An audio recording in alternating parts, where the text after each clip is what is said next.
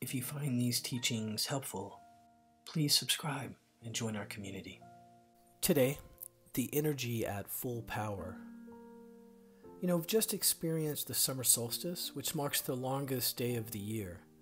And it's significant because our ancestors also marked this as a time for a personal spiritual awakening. In addition, we have a full moon, which is when the moon is at its fullest power, too. So, like the tarot, depending upon the person, it can motivate you positively or it can call out your negative aspects. Whatever it is, it will be full on. So, recognize that people will be more animated in both directions. This energy will be strong over the next few days, and at full power, and it's swirling and it's stirring all things up in both positive and negative ways. This is like a full tide, so use your judgment if you're going to go out surfing in it.